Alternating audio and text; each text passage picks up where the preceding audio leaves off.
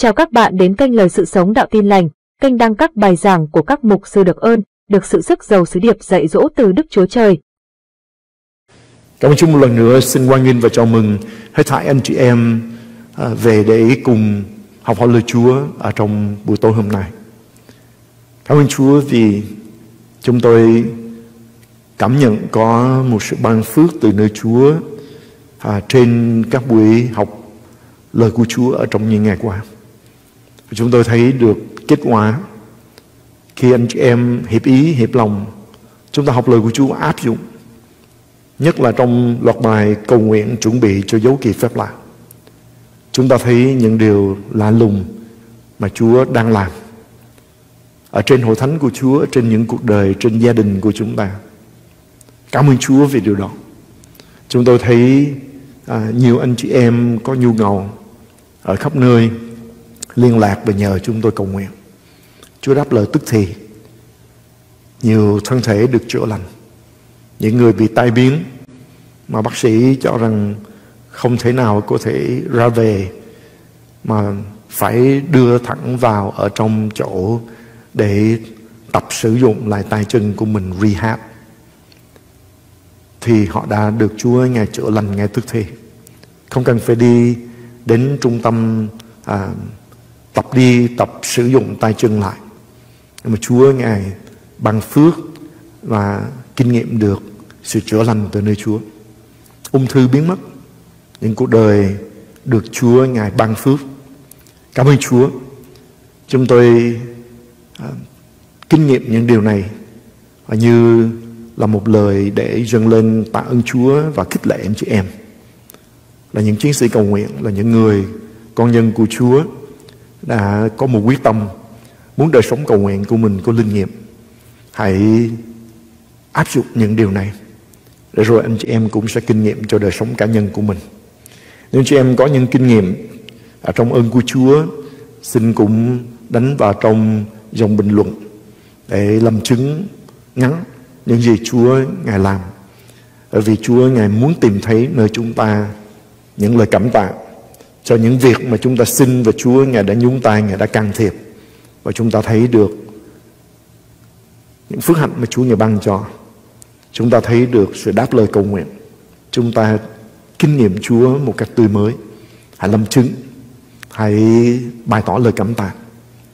Chúng tôi cũng muốn được thấy, được nghe để cùng hiệp lòng với anh chị em mà chúng ta dâng lên Chúa những sự cảm tạ này.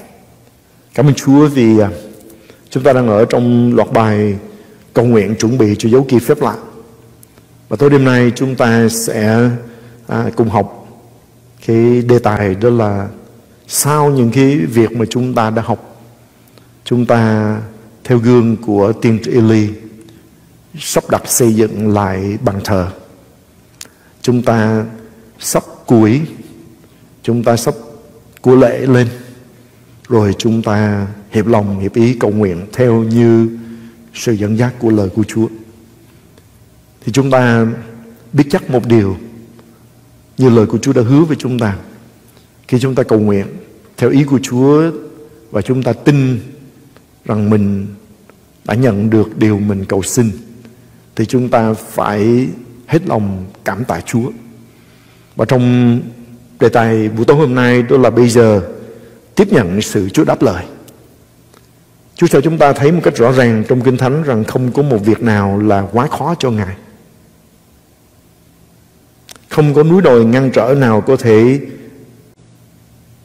cản trở mà Chúa không thể vượt qua để cứu giúp, để giúp đỡ cho chúng ta vượt qua được trong đời sống. Nếu chúng ta biết cách đối diện với những điều đó theo như lời của Chúa đã ghi lại cho chúng ta cách mà Chúa Ngài hành động.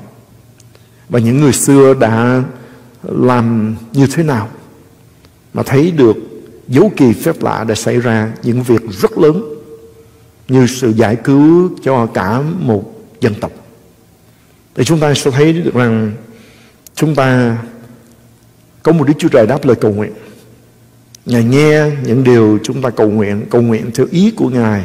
Chúng ta biết chắc mình đã nhận lời. Và chúng ta cũng sẽ bước thêm bước buổi tối hôm nay để chúng ta có thể tiến vào và nhận liền những điều Chúa Ngài đã à, đáp lời cầu nguyện của chúng ta và chúng ta sẽ thấy ở trong đời sống của chúng ta.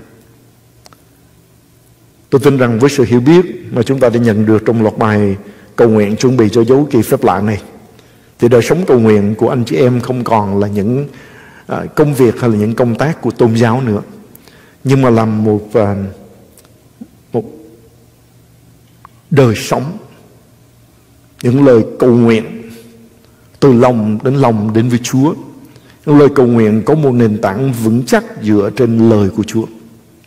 Thì chúng ta sẽ thấy tất cả những điều chúng ta cầu nguyện, Chúa đáp lời chúng ta.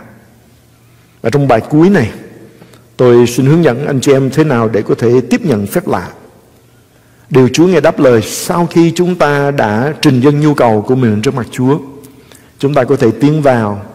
Và bởi hai phương tiện mà Chúa, Ngài cho chúng ta cùng học buổi tối hôm nay, chúng ta sẽ thấy sự đáp lời của Chúa hiện ra cho chúng ta một cách nhanh chóng. Thứ nhất, đó là chúng ta cùng nghiên cứu về sự ngợi khen. Ngợi khen là điều mà chúng ta thấy rằng à, rất là quan trọng. Đối với tôi hơn 30 năm về trước khi khám phá ra lẽ thật này thì đời sống cầu nguyện của tôi đã khác hẳn. Mặc dù lớn lên trong một hội thánh truyền thống từ nhỏ chưa thấy phép lạ ở trong cuộc đời của mình đi sinh hoạt trong hội thánh không thấy có những cái sự vận hành của Chúa một cách lớn lao trong mức độ như kinh thánh đã ghi lại cho chúng ta cũng như trong lịch sử cho đến khi khám phá ra được à, hai phương tiện này thì chúng tôi thấy cách cầu nguyện và việc nhận sự đáp lời của Chúa khác hoàn toàn.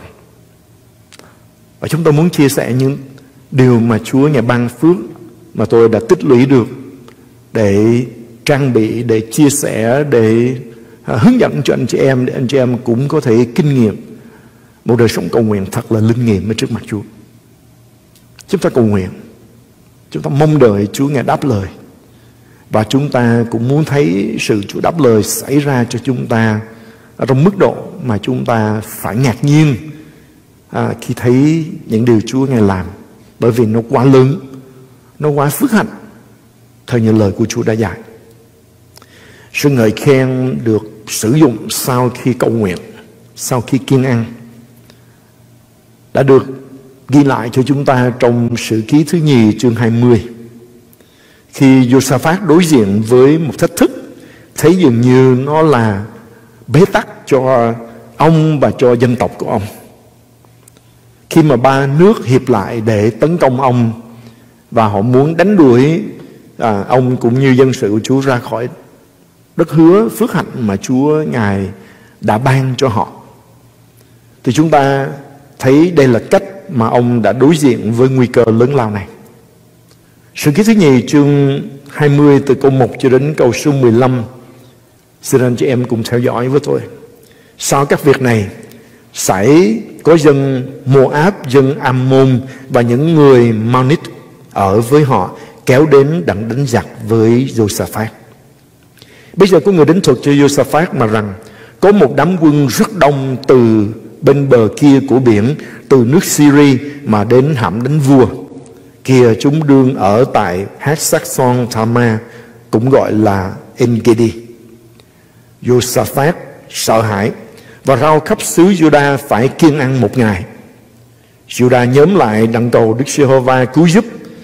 Người ta ở các thành Juda đều đến đặng tìm cầu Đức Giê-hô-va. Josaphat đứng ở trong hội chúng Juda, Juda và Jerusalem ở trong đền của Đức Giê-hô-va trước hành lang mới mà cầu nguyện rằng lại Giê-hô-va Đức Chúa Trời của tổ phụ chúng tôi Ngài há chẳng phải là Chúa ở trên các tầng trời sao? Há chẳng phải đấng quản trị muôn dân muôn nước sao? Ở nơi tay Chúa có quyền thế năng lực, chẳng ai chống trả Chúa cho nổi. Hỡi Đức Chúa Trời chúng tôi, Ngài há chẳng phải đã đuổi dân ở xứ này khỏi trước mặt dân Israel của Ngài và ban xứ ấy cho dòng dõi Abraham là bạn hữu Chúa làm sản nghiệp đời đời sao? Chúng ta để ý đến ông nhắc Chúa đây là sản nghiệp đời đời. Không ai có thể nếu Chúa Ngài can thiệp vào thì chắc chắn họ sẽ giữ phần sản nghiệp đó đời đời. Chúng ta ở đó và đã cất cho danh Chúa một đền thánh mà rằng nếu tai họa giáng trên chúng tôi hoặc gươm giáo hoặc sự đoán phạt hoặc dịch hạch hay là cơn đói kém, thì chúng tôi sẽ đứng ở trước đền này và trước mặt Chúa vì danh Chúa ở trong đền này mà kêu cầu Chúa trong sự gian nan chúng tôi thì Chúa sẽ dụ nghe và giải cứu cho. Trong lúc dân Israel từ xứ Egypto lên, Chúa có cấm họ loáng đến xứ của dân Ammon, dân Moab và những người ở núi Seir. Dân Israel xây khỏi chúng nó, không diệt chúng nó đi. Kìa, chúng nó báo lại chúng tôi dường nào đến toan đuổi chúng tôi khỏi sản nghiệp Chúa đã ban cho chúng tôi nhận lấy. Hỏi Đức Chúa Trời chúng tôi ơi, chớ thì Ngài sẽ không phán xét, xét đoán chúng sao? Vì nơi chúng tôi chẳng còn có sức lực gì đối nghịch cùng đám quân đông đảo này. Đương đến để hãm đánh chúng tôi Và chúng tôi cũng không biết điều gì mình phải làm. Nhưng con mắt chúng tôi ngửa trong Chúa. Cả Judah đều đứng trước mặt Đức sơ va với các đứa nhỏ Vợ và con cái của mình. Bây giờ tại giữa hội chúng, Thần của Đức sơ va cảm động Jahasien con trai của Sachari cháu của Benaja, chắc của Gehien chích của Mathania, là người Levi thuộc về dòng Asap mà phán rằng, hỡi người Juda và dân cư thành Jerusalem cùng vua Josaphat hãy nghe. Đức Sơ Va phán cho các ngươi như vậy, chớ sợ, chớ kinh hãi bởi đám quân đông đảo này vì trận giặc này chẳng phải của các ngươi đâu bèn là của Đức Chúa Trời. Chúng ta thấy tại đây giặc giả đang diễn ra và vua Josaphat nhóm hợp dân Juda lại để kiên ăn và cầu nguyện. Chúng ta thấy rằng họ đã dùng lời Chúa khi họ cầu nguyện. Ông đã nhắc lại Chúa dòng lịch sử của những gì Chúa Ngài đã hứa, Ngài đã ban và thế nào dân sự của Chúa. À, chúng ta còn nhớ khi vua Salomon dâng đền thờ cung hiến đền thờ thế ông đã cầu xin Chúa và Chúa hứa Ngài sẽ làm. Đó là khi trong xứ có tai vạ trong xứ có chiến tranh trong xứ có dịch lệ. Và nếu họ từ nơi đền thờ hướng lòng về Chúa và cầu nguyện thì Chúa Ngài sẽ dụ nghe và Ngài sẽ ban phước cũng như giải cứu họ. Ông nhắc Chúa điều đó. Và chúng ta cũng để ý ở trong lời cầu nguyện của Josaphat thì chúng ta thấy có sự ngợi khen cặp theo. Ông nhắc nhở Chúa về lời hứa của Ngài và Chúa Ngài sẽ giữ gìn họ trong đất mà Ngài đã cho họ làm sản nghiệp. Và chúng ta thấy lời cầu nguyện của họ đã thấu đến thiên đàng và Chúa Ngài đã đáp lời cầu nguyện của họ. Sau đó họ đã bước những bước thực nghiệm để nhận sự đắc thắng mà chúng ta sẽ cùng à, nghiên cứu và rút tỉa những nguyên tắc, những bài học ở tại đây để chúng ta áp dụng cho đời sống cầu nguyện của chúng ta. Chúa bảo họ ở trong sự ký thứ nhì chương 20 câu số 17 trong trận này các ngươi sẽ chẳng cần gì tranh chiến Hãy dàn ra, Đứng yên lặng mà xem thấy sự giải cứu của Đức Giê-hô-va ở cùng các ngươi. Hỡi Judah và Jerusalem chớ sợ trước kinh hãi Ngày mai, hãy đi ra đón chúng nó Vì Đức Giê-hô-va ở cùng các người Chúng ta để ý đến ở tại đây, Khi Chúa Ngài Ngài nhận lời cầu nguyện Và Ngài ở cùng, Ngài bước vào trong hoàn cảnh Ngài can thiệp vào trong hoàn cảnh thì Chúa Ngài trấn an dân sự của Ngài chớ sợ chớ kinh hãi cảm ơn Chúa khi anh chị em có thể mời Chúa bước vào bất cứ chiến trận hay là nan đề nào ở trong đời sống của anh chị em. Ngài sẽ đến và Ngài làm chủ tình hình. Chúa Ngài đến và Ngài chiến đấu cho chúng ta. Chiến trận không còn là của cá nhân của chúng ta nữa, nhưng là của Chúa. Ngài sẽ trực diện với kẻ thù của chúng ta. Và chúng ta cũng biết cách chắc chắn ai sẽ thắng rồi. Bởi vì khi Chúa Ngài bước vào và Ngài chiến trận cho chúng ta thì sự đắc thắng là điều chắc chắn. Vì Chúa toàn năng và Ngài thừa quyền năng để giải quyết những năng đề trong đời sống của chúng ta. Chúa bảo dân Juda trong trận này các ngươi sẽ chẳng cần gì tranh chiến. Nhưng mà có hai điều Chúa Ngài bảo họ làm, đó là hãy dàn binh ra và đứng yên lặng. Cảm ơn Chúa. Đây là chỗ mà nhiều người chưa thấy tới. Chúng ta để ý, chúng ta thấy đào quân dàn trận nghịch cùng Juda không thình lình biến mất ngay giây phút họ cầu nguyện. Thật ra, kẻ thù vẫn còn đó khi họ kiên ăn và cầu nguyện.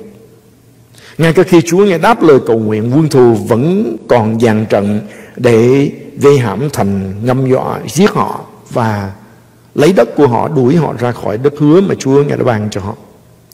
Cho nên dù kiên ăn cầu nguyện và Chúa đã đáp lời, nhưng dường như năng đề vẫn chưa biến mất. Nhưng mà hồi đã dùng điều mà tôi gọi là vũ khí tối thượng và trọn vẹn. Đó là sự ngợi khen. Phải, chúng ta nghe những người vô tính luôn cả trong giáo hội. Chê và châm biếm chúng ta là những người cứ ở đó mà ca hát, cứ ở đó mà ngợi khen. Đừng đứng đó, hãy làm cái gì đó. Nhưng anh chị em, có những lúc khi Chúa Ngài nhận lời cầu nguyện của chúng ta và Chúa Ngài muốn chúng ta bày tỏ lòng tin của chúng ta là dàn trận ra, rồi đứng ở trong sự yên lặng trong cậy. Mà đứng yên lặng ở tại đây không phải là chúng ta yên lặng, miệng của chúng ta ngậm lại. Mà đứng yên lặng trong sự nhận biết Jehovah Đức Chúa Trời, tức là ngợi khen là xác nhận đức tin của chúng ta nơi Chúa. Và đây là điều mà chúng ta cần thấy trong đời sống của chúng ta. Sự khí thứ nhì chương 20 câu 21 đến 23 lại tiếp cho chúng ta. Khi người đã bàn nghị với dân sự, bèn lập những người ca sướng cho Đức giê va mặc áo lễ thánh mà đi ra trước cơ binh, ngợi khen Chúa rằng, hãy ngợi khen Đức giê va vì sự thương xót ngài hằng có đời đời. Có thể nói đây là một cái chiến thuật không thuộc về trần gian này quân thù liên minh của ba nước hiệp lại với nhau.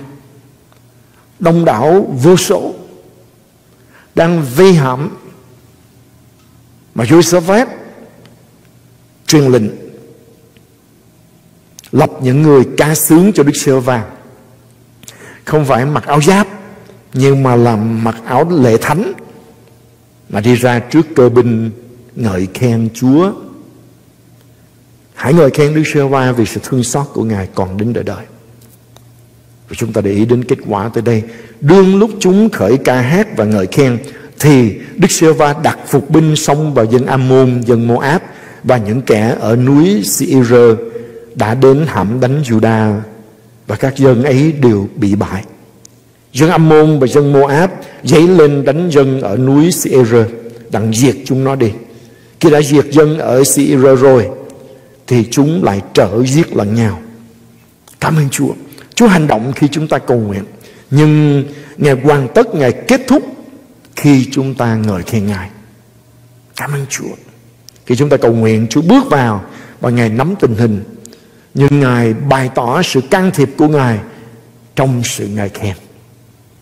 Cho nên chị em yêu dấu của tôi, đừng nghe những con người vô tính, những con người à, vì cái việc mà họ có định kiến với những người của ân tứ à, những người ân tứ những người ngũ tuần là những người ca hát ầm ĩ anh chị em yêu dấu của tôi Hãy nhìn xa hơn, cao hơn tất cả những ý kiến uh, lập luận của con người cũng như là những điều mà con người suy nghĩ. Mà hãy để lời của Chúa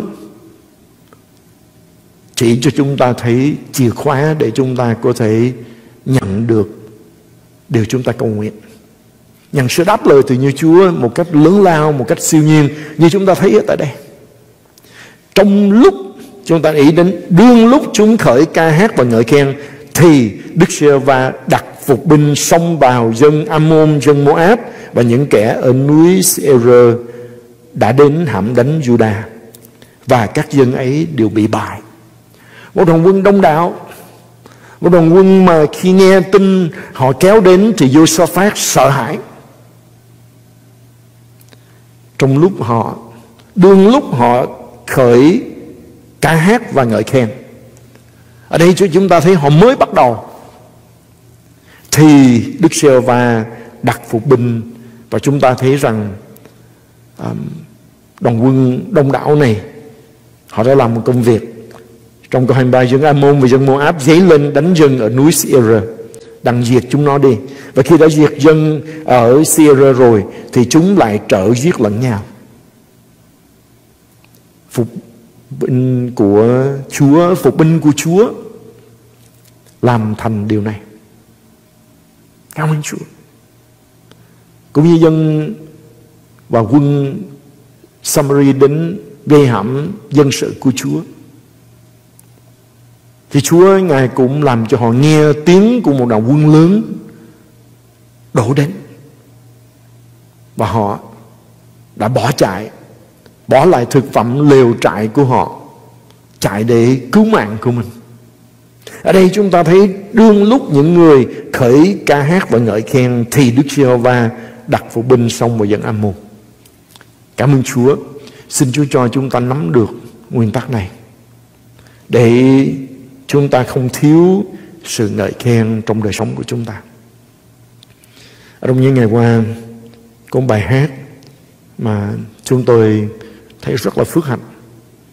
Chúng tôi đã dịch bài hát này sang tiếng Việt và đang chuẩn bị để giới thiệu cho hội thánh. Đó là ờ, sự tốt lành của Chúa. The goodness of God. Bài hát này nói đến vì Chúa, Ngài là đấng nhân từ. Và Ngài dẫn dắt, Ngài bồng ẩm, Ngài nâng chúng ta ở trong tay quyền năng của Ngài. Thì chúng ta chọn. Từ lúc sáng sớm thức dậy cho đến lúc đêm xuống, chọn. Là khen Chúa. Ở tại đây chúng ta thấy Josaphat đã làm công việc này. Và cái thách thức thường xảy ra ở trong tấm lòng của chúng ta mà chúng ta thấy ở đây cũng đang ở trước mặt Josaphat đó là một đoàn quân rất đông. Một đoàn quân mà nghe, thấy tin tức cũng như con số đã làm cho Josaphat sợ hãi. Sợ đến độ ông phải lập tức kêu gọi dân Judah hiệp lại với nhau để dành một ngày kiên ăn, hạ mình xuống trước mặt Chúa và cầu xin Chúa ngày giải cứu họ. Thì bây giờ chúng ta thấy ngay khi họ khởi ca hát, ngay khi họ khởi ngợi khen Chúa, thì Chúa Ngài đã hành động. Phục binh đã đến. Chúng ta không biết là thiên sứ hay là um, một cái cách nào đó mà Chúa Ngài đã làm và phục binh của Ngài đã đến và làm cho liên quân này.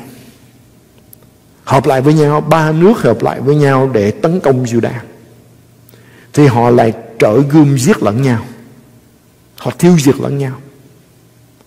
Cảm ơn Chúa vì phục binh của Chúa hành động khi chúng ta ngợi khen Chúa.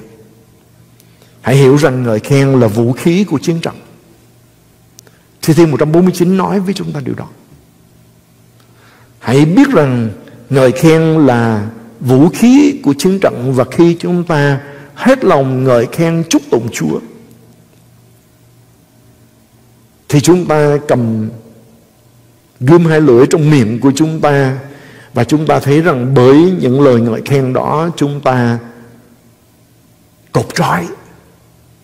Chúng ta giải quyết các vua của thế gian này. Cảm ơn Chúa vì phước hạnh mà Chúa Ngài đã cho chúng ta. Đặc ân mà Chúa cho chúng ta ở trong sự ngợi khen thơ phượng và Chúa Ngài đáp ứng lại với lời ngợi khen của chúng ta. Do nên sau khi anh chị em kiên ăn cầu nguyện đừng dừng lại ở đó.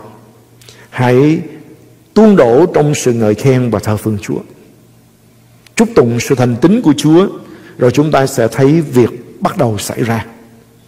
Khi chúng ta tiến vào sự nóng cháy của hết lòng của ngợi khen, kính sợ Chúa Chúa sẽ xây dựng quyền cai trị của chúng ta trên những tiếng gầm gừ của kẻ thù của chúng ta.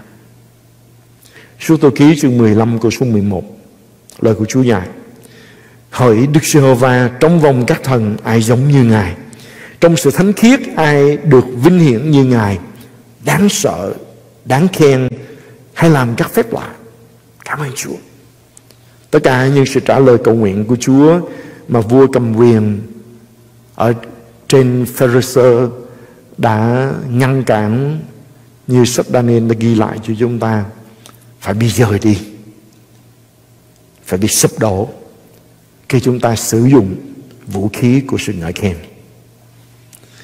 khi chúng ta đối diện với bất cứ một năng đề nào, thì chúng ta nên không ngoan tìm trong kinh thánh xem gương của những người đã từng trải kinh nghiệm tương tự rồi chúng ta xếp cuộc đời chúng ta học theo cách họ giải quyết, thì chắc chắn chúng ta sẽ nhận được cùng một kết quả. Jeremy chương 6 câu số 16 Lời của Chúa cho chúng ta thấy điều Chúa Ngài muốn chúng ta làm. Và cũng thấy sự đáp ứng của Chúa khi dân sự của Chúa đã không chọn làm điều này. Thứ nhất, chúng ta thấy Đức giê va phán, Hãy đứng bên các nẻo đường Và nhìn xem, Hãy tìm hiểu những đường lối xa xưa. Xem đâu là đường ngay nẻo chính Và đi con đường ấy. Hãy tìm nơi an nghỉ cho linh hồn của mình.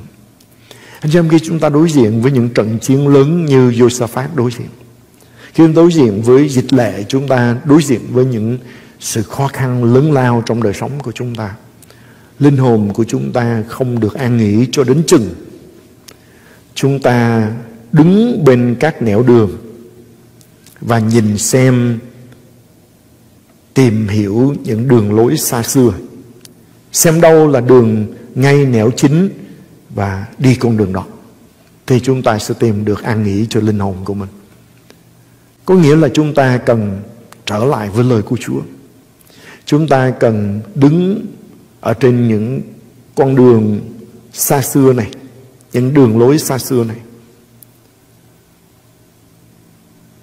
Thấy Chúa Ngài đã làm việc trên những cuộc đời qua những cuộc đời của các thánh nhân của Chúa, của tuyển dân của Chúa, của những người thánh của Chúa đã ghi lại cho chúng ta ở trong Kinh Thánh. Xem cái cách họ đối diện với nàng đề của họ. Xem cái con đường nào đâu là đường ngay nẻo chính rồi chúng ta đi con đường đó. Josaphat tại đây để lại cho chúng ta một cái tấm gương. Và khi chúng ta đối diện với những thách thức ở trong đời sống của chúng ta, Những sự khó khăn trong đời sống của chúng ta, Dịch lệ xảy ra. Thì là khôn ngoan cho chúng ta thay khi chúng ta trở lại với lời của Chúa. Và chúng ta thấy những trường hợp tương tự và trong trường hợp này chúng ta nói đến Josaphat. Ông đã đối diện với một đạo quân lớn vô số kể này đi đến Vây hãm và định đánh đuổi ông cũng như dân sự của Chúa ra khỏi vùng đất mà Chúa Ngài đã ban cho họ. Ông đã đáp ứng một cách hết sức là tốt đẹp hãy học theo để thắng ở trong sự chiến đấu cầu nguyện chúng ta phải bắt đầu với sự ngợi khen. Như Chúa Giêsu cũng đã dạy chúng ta, lại cha chúng con ở trên trời, danh cha được tôn thánh. Đó là sự ngợi khen. Chúng ta bắt đầu với sự ngợi khen rồi chúng ta gói trọn cái lời cầu nguyện của chúng ta trong lời của Chúa, trên nền tảng của lời của Chúa. Sự nhậm lời của Chúa. Rồi chúng ta nhận phép lạ, sự đáp lời của Chúa bằng cách chúng ta ngợi khen Chúa. Cầu nguyện kiên ăn, cầu nguyện có nền tảng dựa trên lời của Chúa, nhưng đừng dừng lại ở tại đó. Nhưng hãy bắt đầu ngợi khen Chúa. Như là một lời cảm ơn Chúa trước cho những điều mà chúng ta tin rằng Chúa Ngài ban cho chúng ta vì Ngài đáp lời cầu nguyện của chúng ta. Ngợi khen Chúa.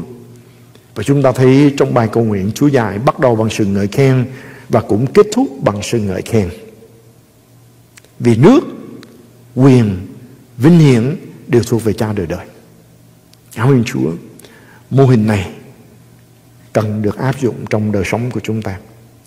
Chúng ta bắt đầu với sự ngợi khen, kết thúc bằng sự ngợi khen. Đó là điều tốt đẹp mà chúng ta có thể học được. Tác giả của Thi Thiên 56 câu số 9 Ngày nào tôi kêu cầu Các kẻ thù nghịch tôi phải thối lại sao Tôi biết điều đó vì Đức Sơ Va binh vực tôi.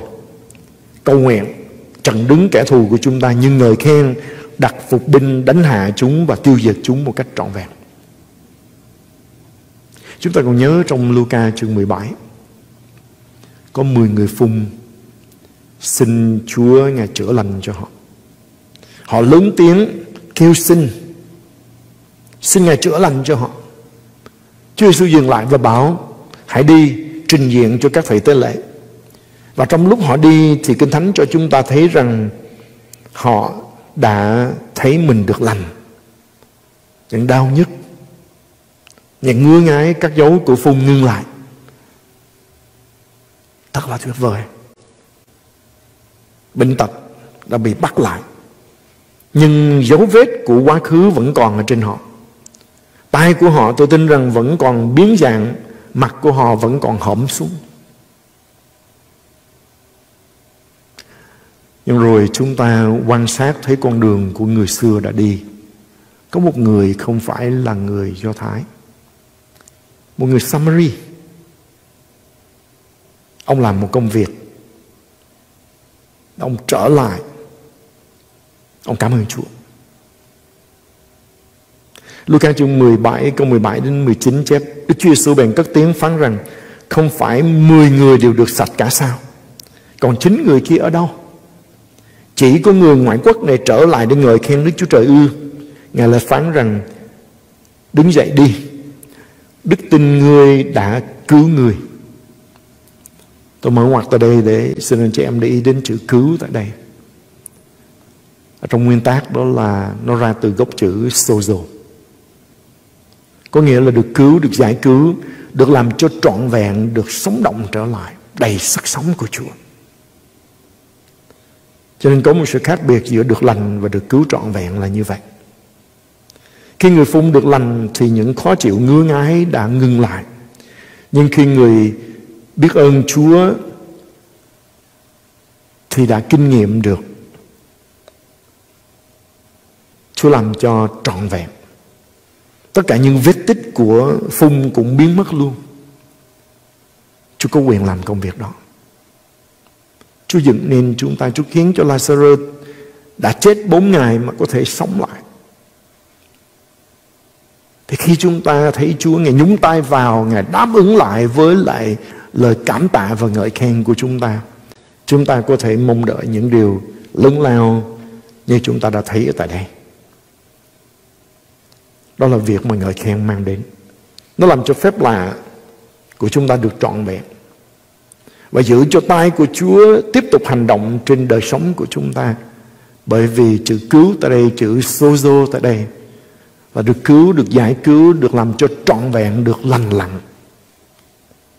Được đầy sự sống của Chúa. Chúa để ý đến sự cảm tạ đến chị em. Khi Chúa hỏi Tại sao có một người còn chín người kia ở đâu? Cho nên đừng dừng lại, đừng hạn chế sự ngợi khen cảm tạ Chúa. Hãy dư dật trong sự cảm tạ. Hãy bày tỏ lòng biết ơn của chúng ta trước mặt Chúa. Chúng ta đã cất tiếng kêu cầu xin Chúa thương xót ở trong khi hoạn nạn và khi Chúa nghe đáp lời chúng ta hãy trở lại ngợi khen Chúa ca ngợi Ngài. Bây giờ chúng ta có trách nhiệm cúi xuống để chúng ta ca ngợi Ngài, cảm tạ Ngài như người phung, người ngoại quốc này đã trở lại để cảm ơn Chúa Giêsu để ca ngợi Đức Chúa Trời. Cảm ơn Chúa. Có nhiều người đã thấy ngón tay của Chúa trên đời sống của họ, ở trong việc đáp lời cầu xin. Nhưng họ không chịu ngợi khen Chúa, mà đứng đó nói rằng chờ cho đến khi mọi việc nó xong hết đi rồi tạ ơn Chúa ngợi khen Ngài không muộn. Đúng nhưng thiếu. Vì chúng ta thấy chúng ta quan sát những người xưa họ đã làm và cách mà Chúa Ngài đáp ứng lại với họ cho chúng ta thấy rằng Chúa muốn chúng ta cảm ơn Chúa ngày tức khắc Chúa muốn chúng ta đón nhận sự trả lời, đáp lời của Chúa ngay tức khắc. Không phải chờ đến khi thấy bằng mắt, nhưng mà chúng ta thấy được bằng đức tin và chúng ta lớn tiếng ngợi khen Chúa. Hai câu kinh thánh khác mà khi khám phá ra nó cũng thay đổi đời sống cầu nguyện của tôi.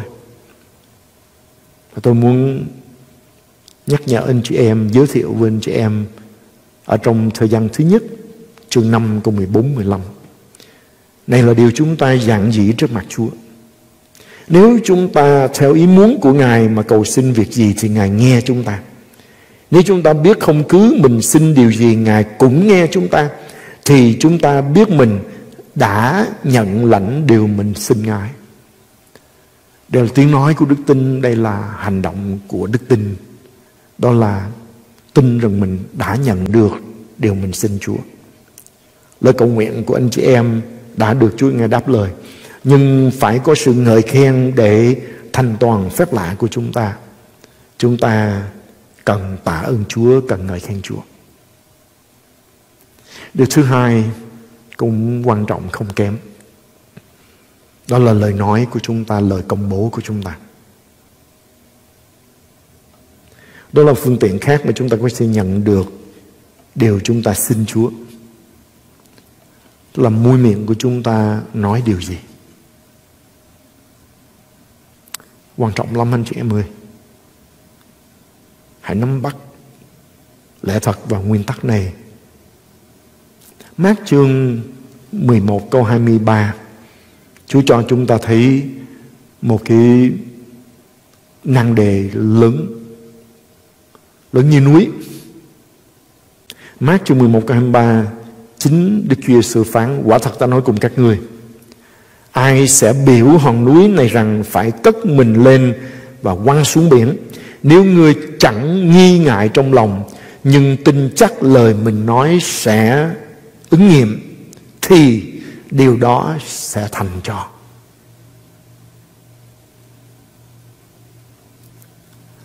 Người sống theo lý trí sẽ nói rằng đây là chuyện vô lý. Nhưng người sống theo đức tin thì thấy rằng đây là chìa khóa. Xin Chúa cho chúng ta thấy đây là chìa khóa vì lòng của chúng ta, tin và chúng ta chọn bước đi trong đức tin, chứ không phải bằng mắt thấy. Tôi xin đọc lại. Quả thật ta nói cùng các người, ai sẽ biểu hòn núi này rằng, anh chị em biểu một con chó ra lệnh cho một con mèo thì có thể dễ hiểu. Nhưng mà ta đây thì Chúa nghe bảo rằng ai biểu hòn núi này rằng phải tất mình lên và quăng xuống biển. Nếu người chẳng nghi ngại trong lòng, nhưng tin chắc lời mình nói sẽ ứng nghiệm, thì điều đó sẽ thành cho xin Chúa cho chúng ta học thuộc lòng. Câu kinh thánh này, vì nó là một trong những nguyên tắc rất là quan trọng để chúng ta có thể nhận được điều chúng ta xin Chúa. Đó là lời công bố của đức tin. Khi chúng ta đã cầu nguyện, Chúa đáp lời. Nhưng mà chúng ta thường hay làm gì mọi lời của chúng ta nói như là hạt giống kinh thánh dạy ai gieo giống chi gặt giống ấy nếu sau khi chúng ta xin chúng ta tin ở trong lòng là Chúa đã nhậm lời chúng ta công bố bằng miệng thì chúng ta sẽ nhận được điều mình công bố. Cảm ơn Chúa. Nhưng không cần biết chúng ta cầu xin đến cỡ nào. Nếu lời nói của chúng ta là tiêu cực thì chúng ta sẽ không thể gặt được kết quả một tích cực được. Vì những gì miệng chúng ta nói chính là điều mà chúng ta sẽ nhận được. Khi bạn đã cầu xin Chúa chữa lành cho thân thể của bạn đừng cho bất cứ ai, những người chung quanh của chúng ta đến nói những cái chữ như là tội nghiệp quá. Xin chia buồn với bạn. Những người hiểu biết thì chúng ta cũng cần để ý đến chỗ này. Tội nghiệp. Đây là từ ngữ của phật giáo cái tội, cái nghiệp.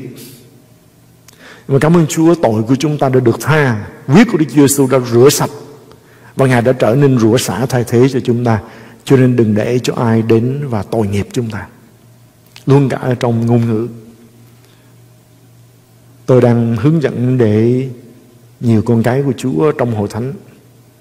Chúng ta được gột rửa khỏi cái tư tưởng của Phật giáo tại đây. Khi chúng ta nhìn thấy một người nào đó trong cái hoàn cảnh mà chúng ta thấy thương họ. Thì hãy nói rằng thấy thương quá, đừng nói tội nghiệp. Các anh chị em người Trung thì bỏ chữ nghiệp mới thấy tội tội quá. Chúng ta đã được Chúa nghe tha thứ. Chúng ta đã xin và Chúa ngày nghe lời cầu xin chúng ta và Chúa là Đức Chúa Trời đáp lời cầu nguyện.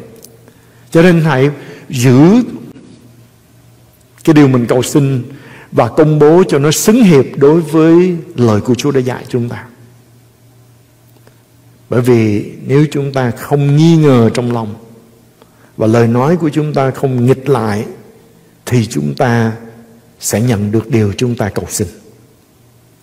Chúa Giêsu bảo ở trong mát chương 11 câu 24 Bởi vì ta nói cùng các ngươi, Mọi điều các ngươi xin trong lúc cầu nguyện, Hãy tin đã được, tất điều đó sẽ ban cho các người. Nói đến cầu nguyện, thì đây là một trong những câu kinh thánh chìa khóa nữa. Xin Chúa cho để cái chìa khóa này chúng ta sử dụng một cách điêu luyện, như là một cái chìa khóa chính của, trong sâu chìa khóa của chúng ta. Xài cho đến khi cái chìa khóa nó nó sáng, đừng để nó bị ten nhưng mà sử dụng nó một cách thường xuyên để đời sống cầu nguyện của chúng ta có linh nghiệm. Hãy nhớ điều này. Bởi vậy ta nói cùng các ngươi, mọi điều các ngươi xin, mọi điều là bao nhiêu điều? Tất cả. Mọi điều các ngươi xin trong lúc cầu nguyện, thì Chúa truyền lệnh gì? Hãy tin đã được. Tất điều đó sẽ ban cho các người. Anh chị em, đây không phải là chúng ta tâm lý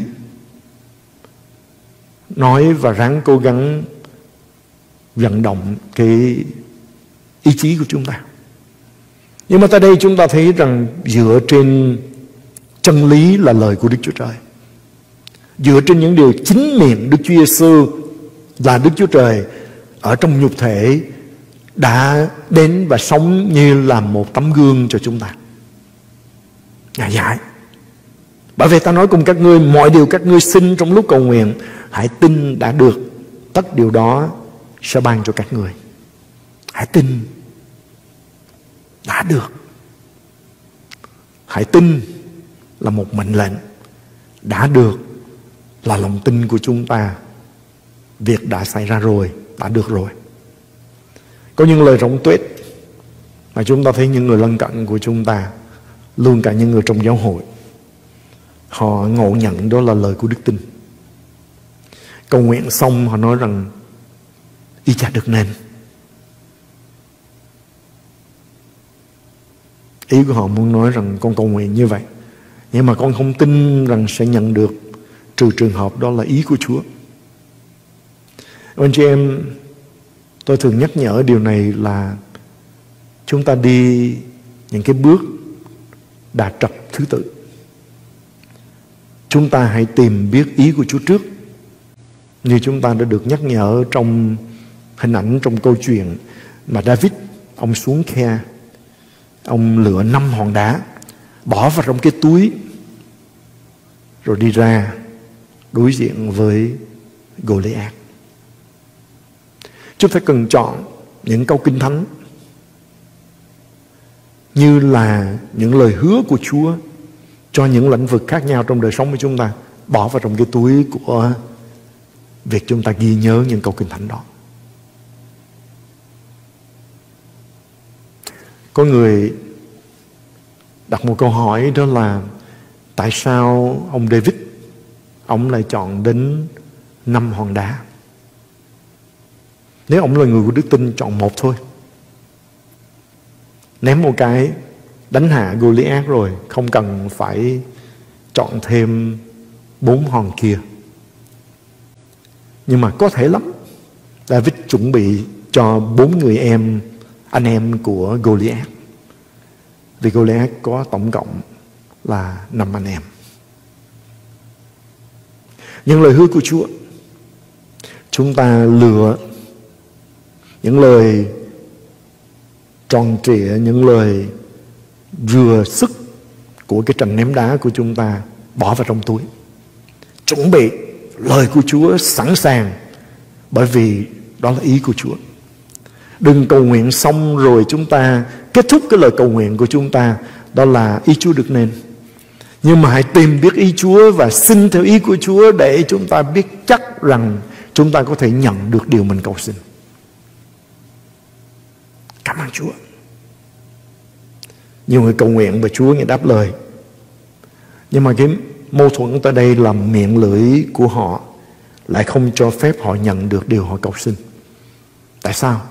Vì cầu nguyện xong Thay vì tiếp tục công bố tin rằng những điều mình xin đã được Chúa Ngài đáp lời, mình đã nhận điều đó. Thì chúng ta thấy rằng họ nói ngược lại. Mới xin Chúa xong ở trong nhà thờ, bước ra tiền sảnh của nhà thờ đã bắt đầu nói ngược lại. Xin Chúa trong lúc quỳ gối cầu nguyện xong đứng lên nói ngược trở lại. Xin Chúa cho chúng ta thay đổi ở trong cái chỗ đó.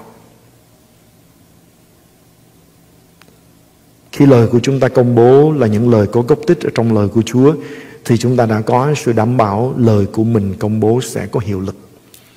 Cho nên chúng ta hãy cẩn thận về những gì mình nói sau khi mình cầu nguyện. Đó có phải là lời công bố của đức tin hay là chúng ta lại để cho hoàn cảnh và tầm cỡ của nan đề của chúng ta nó quyết định lời nói của chúng ta. Một người kêu cầu Chúa ban cho mình một đứa con. Chúa nghe lời cầu xin đó và đối với thiên đàng thì người phụ nữ đó đã có mang rồi. Nhưng người đó phá cái bào thai đó với chính miệng của mình khi nói những lời ngược lại. Ô mình cầu xin như vậy nhưng mà mình cũng có tuổi rồi, không biết việc này nó có xảy ra được hay là không. Chừng đó chúng ta thấy đã phá đi cái phép lạ, sự đáp lời của Chúa cho đời sống của chúng ta. Điều chúng ta cần phải làm đó là xin và tiếp tục tin và công bố như chúng ta nói với hòn núi, mà lòng của chúng ta không nghi ngờ, chúng ta sẽ nhận được điều chúng ta cầu xin, biển, xin lỗi, núi cũng phải vâng lời bằng cách nhảy xuống biển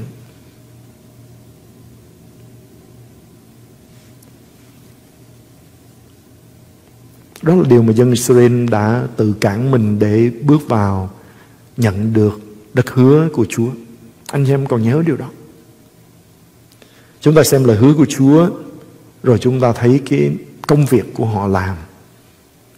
Số tôi ký chương 3 câu 7 câu 8 Đức Sơ va phán rằng ta đã thấy rõ ràng sự cực khổ của dân ta tại xứ Egypto.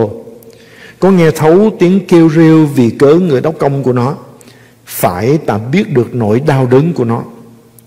Câu số 8 Ta ngự xuống đặng cứu dân này khỏi tay của người Egypto. Đó là điều Chúa Ngài báo rằng Ngài sẽ làm. Dẫn từ xứ ấy lên một xứ kia đẹp đẽ và rộng rãi đường sữa và mật. Tức là nơi dân Canaan, dân Hethit, dân Amorit, dân Pharisip, dân Hevit và dân Jebusit ở. Chúng ta thấy tại đây họ kêu vang với Chúa và Chúa nghe lời họ cầu nguyện. Ngài ngự xuống. Ngài kêu gọi Môi-se là người Chúa Ngài dùng để giải cứu họ khỏi ách nô lệ.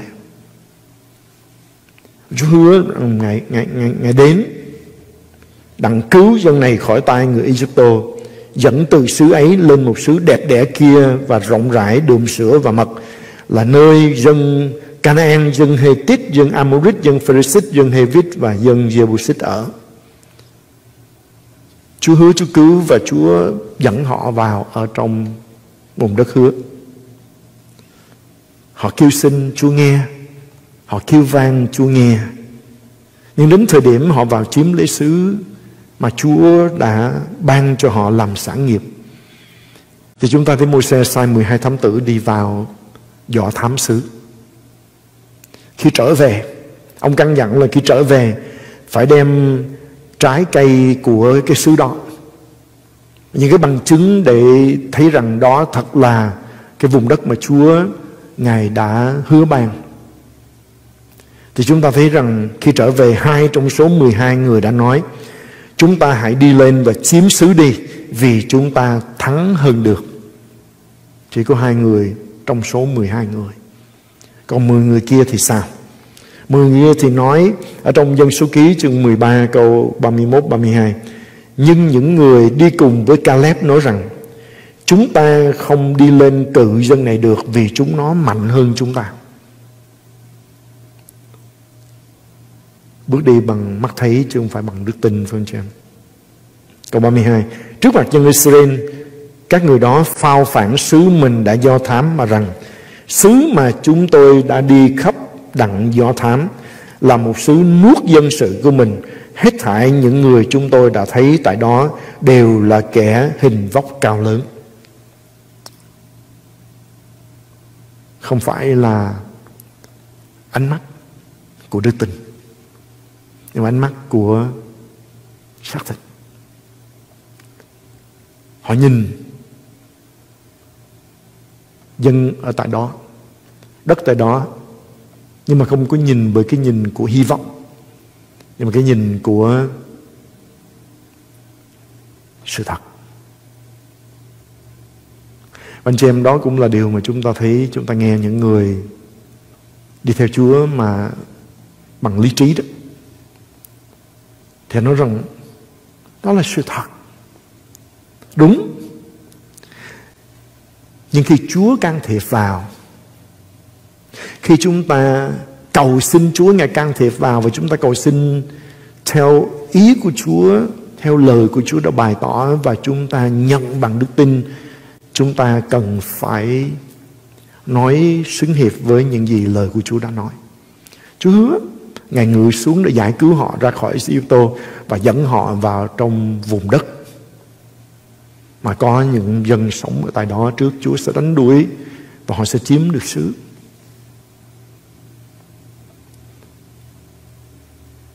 Joshua và Caleb đã đi vào thấy cùng một cái vùng đất. Họ trở về và họ công bố trong tiếng nói của đức tin, chúng ta hãy đi lên và chiếm xứ đi vì chúng ta thắng hơn được. Nhưng mà 10 người kia thì đã trở về và báo cáo những điều bất lợi. Bây giờ chúng ta xem cách Chúa ngài phản ứng. Dân số ký chương 14 câu 28 đến 30 hãy nói với dân chúng, Đức Sơ Va nói rằng, ta chỉ sự sống, sự hằng sống ta mà thề. Ta sẽ đãi các ngươi tùy theo lời ta nghe các ngươi nói. Ồ.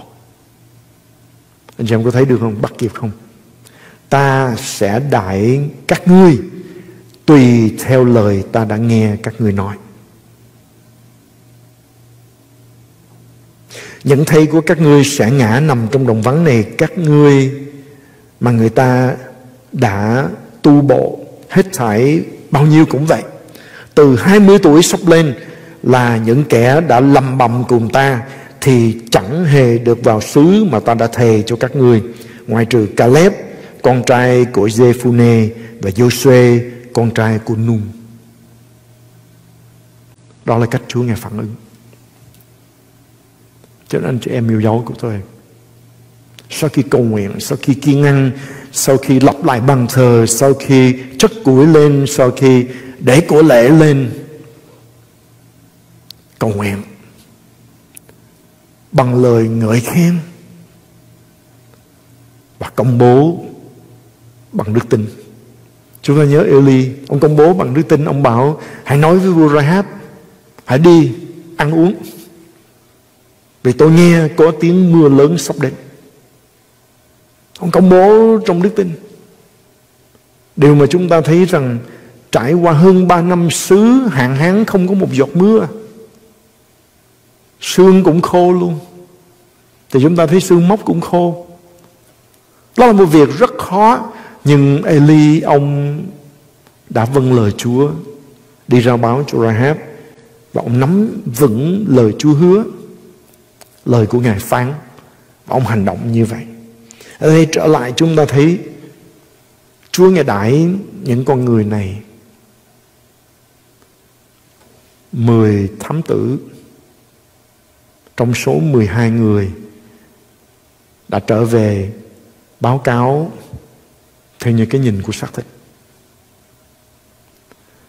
Và đám đông đã nghe họ, cũng đã lầm bầm với Đức Chúa Trời thì Chúa Ngài lấy sự sống của Ngài mà Ngài thề rằng họ sẽ hưởng những gì mà miệng của họ công bố. Chúa Ngài hứa rằng Ngài sẽ đãi họ tùy theo lời mà Ngài nghe miệng họ nói. Cho nên chị em cẩn thận. Chúa nghe đó. Lời của Chúa nói rằng hai người công bình ngồi nói chuyện với nhau. Chúa liền ngự xuống. Mà một quyển sách kỷ niệm được mở ra trước mặt Ngài. Chúa nghe, Chúa ghi nhận. Những điều chúng ta nói.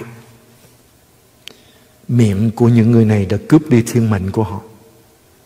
Đáng lý họ đã được giải cứu ra khỏi xứ tô, Họ sẽ được Chúa Ngài dẫn vào ở trong xứ Canaan mà chính miệng của họ đã thiêu hủy tương lai của họ, thiên mệnh của họ. Mà Chúa nói rằng tất cả những người từ 20 tuổi sắp lên sẽ chết ở trong đồng vắng. Ngoại trừ Caleb và Joshua. Tại sao? Vì hai con người này đã thấy trong ánh mắt của đức tin và họ tuyên bố chúng ta hãy đi lên và chiếm xứ đi vì chúng ta thắng hơn được. Cảm ơn Chúa. Đừng nhổ đi những điều tốt đẹp mà Chúa đã trồng trong đời sống của bạn bởi những lời tiêu cực. Đừng cầu xin Chúa một điều rồi nói ngược lại khi bạn nói chuyện với người chung quanh. Đức tin phải có việc làm cặp theo việc làm của chúng ta là lời công bố của đức tin. Hãy nắm chắc phép lạ đó dù kẻ thù gầm gừ như thế nào đi nữa, đừng đầu hàng, đừng bỏ cuộc. Chúa Ngài sẽ đãi chúng ta tùy theo điều Ngài nghe miệng chúng ta nói. Xin Chúa cho chúng ta cũng ghi nhớ câu kinh thánh này. Cẩn thận với những gì chúng ta nói. Vì Chúa sẽ đãi chúng ta theo điều Ngài nghe miệng chúng ta nói. Hãy để lời của Chúa đầy ắp trong chúng ta. Hãy để lời của Chúa được ghi nhớ trong lòng của chúng ta. Hãy để lời Chúa như năm hòn đá mà David đã lượm được từ khe nước. Bỏ vào trong cái túi. Ghi nhớ và bước đi trong đức tin. Khi khổng lồ Goliath đến trong hoàn cảnh của chúng ta lấy cái hòn đá đó ra, bỏ vào trong cái trận ném đá của lời công bố. Và chúng ta chuẩn bị để có thể tải nó, để có thể bắn nó ra trong một cái vận tốc.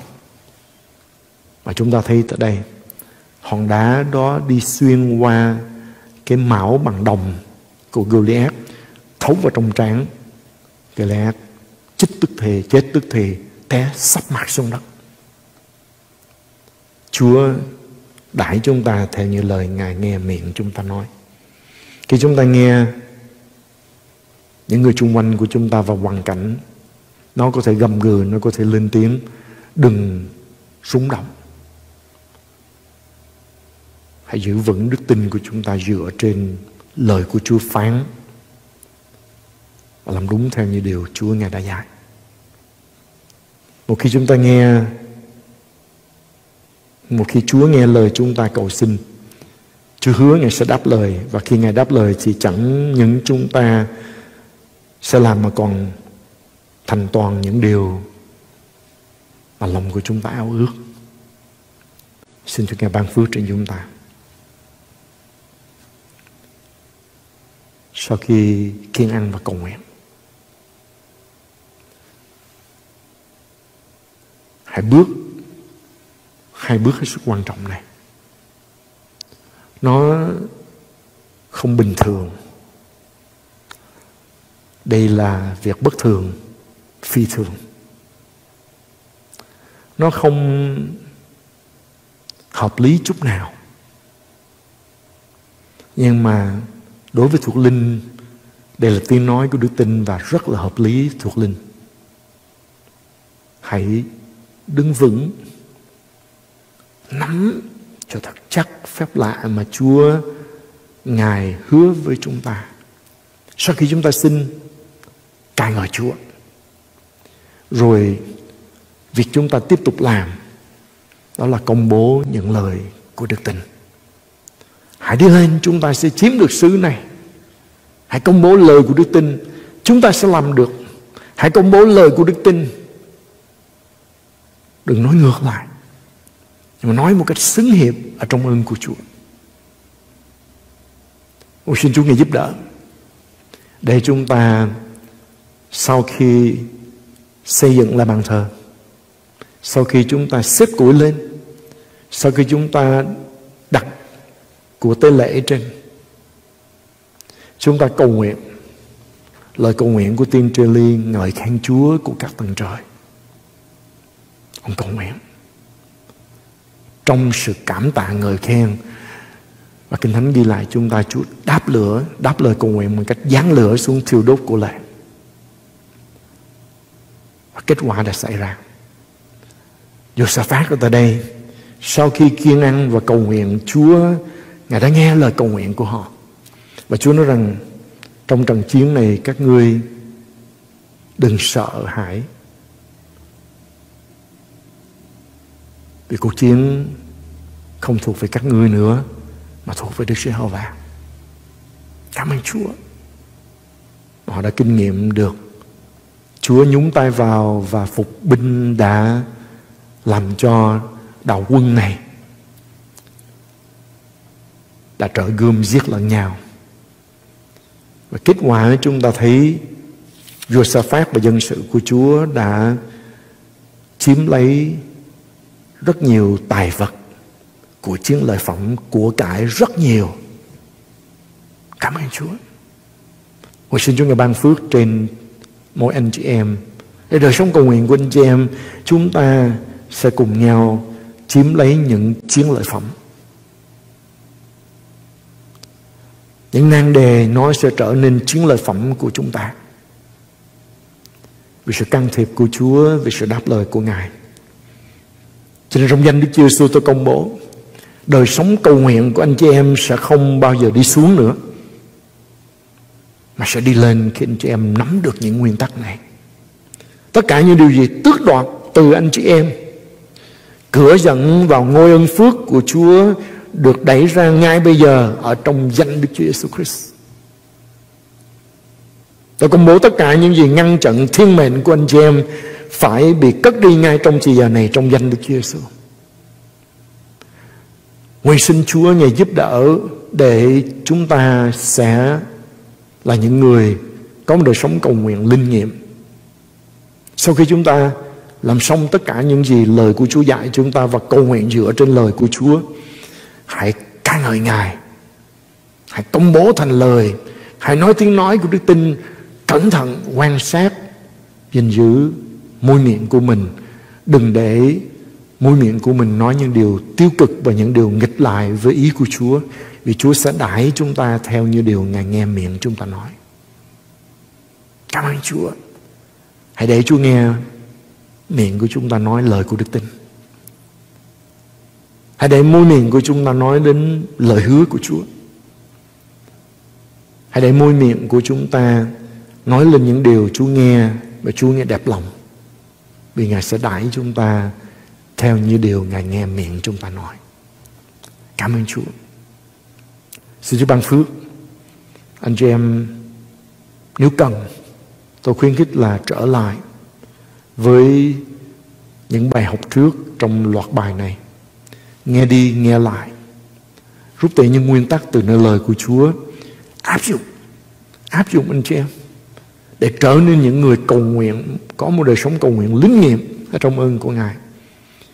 Vì nhu cầu xung quanh của chúng ta và rất là nhiều người đang cần.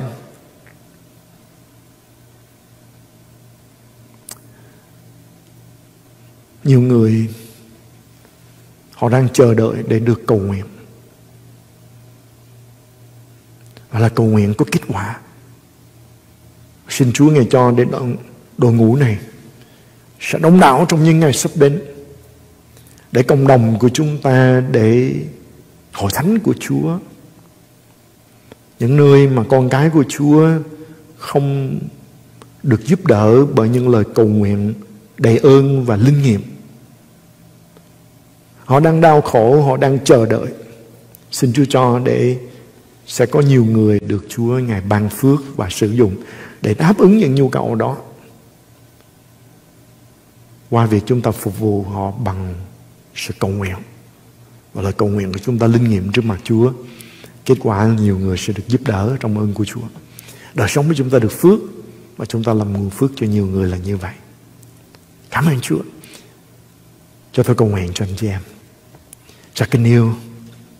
Chúng con cảm ơn Chúa về đặc ân mà Chúa cho chúng con. Cảm ơn Chúa về lời mời của Ngài. Hãy đến gần ngôi ơn phước để nhận được ơn trong thời giờ có cần dùng. Hãy kêu cầu ta, ta sẽ trả lời cho, ta sẽ tỏ cho các ngươi những việc lớn và khó là những việc các ngươi chưa từng biết. Chúa những lời mời thật tuyệt vời. Chúng con biết ơn Ngài. Chúng con quyết tâm, chúng con chọn đáp ứng lại những lời mời này của Chúa.